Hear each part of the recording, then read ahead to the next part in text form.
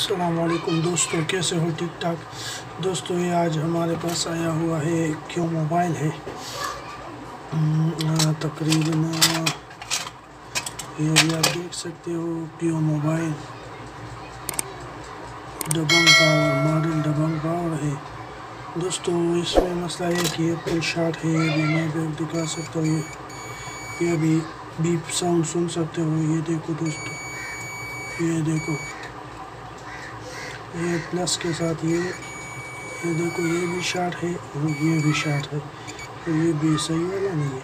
ये प्लस का जो है ना, ये शार्ट है। तो ये फुल शार्ट है। तो दोस्तों, अभी हमारे पास जो है ना, एक शार्ट किलर है जो ये भी आप देख सकते हो। इसके ये हमने बनाए हुए हैं। ये इसका जो है ना प्लस का पॉइंट है। तार है, ये भी आप देख सकते हो और ये माइनस का।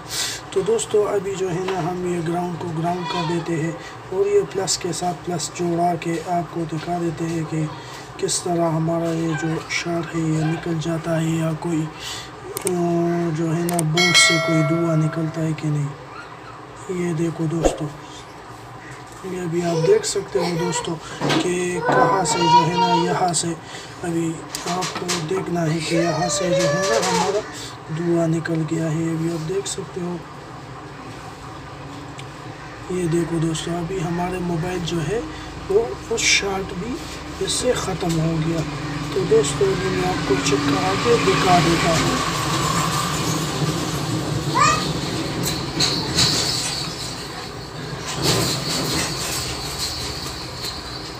ये जो हमारा शर्ट था, वो आपने देख लिया कि कहाँ से धुआँ निकल गया ये। मैं भी आपको दिखा देता हूँ। ये जो हमारा, ये सिग्नल आईसी है, ये यहाँ से जो है ना धुआँ निकल गया है। अभी मैं आपको मोबाइल चेक करा के दिखा देता हूँ कि हमारा प्रॉब्लम जो है वो सॉल्व हो गया है कि नहीं। प्लस को प्लस और यह ग्राउंड को मैंने ग्राउंड लगा दिया। अभी मैं मोबाइल को ऑन करके बता, दिखा देता हूँ।